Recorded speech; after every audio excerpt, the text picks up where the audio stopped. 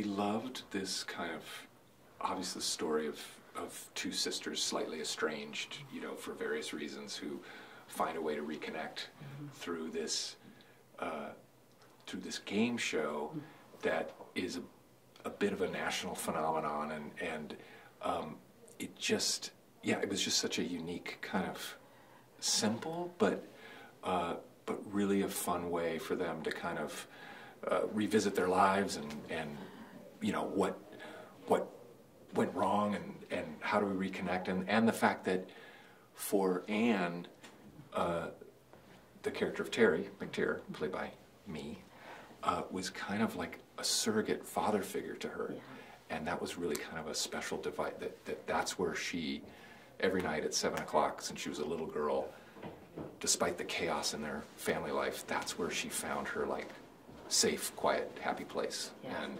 so all those elements kind of tying together made it seem like a really neat, special movie. I was talking to, to Jen, our writer, I was like, this is a hard game show. You're just given a category, and then you just have to list facts without any prompting, any hints.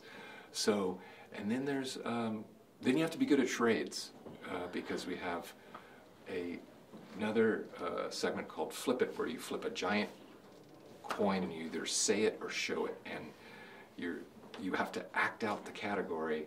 So you have to be not only super smart, have an encyclopedic knowledge of everything uh, on planet Earth, but you have to be able to do charades. So it's a unique combination.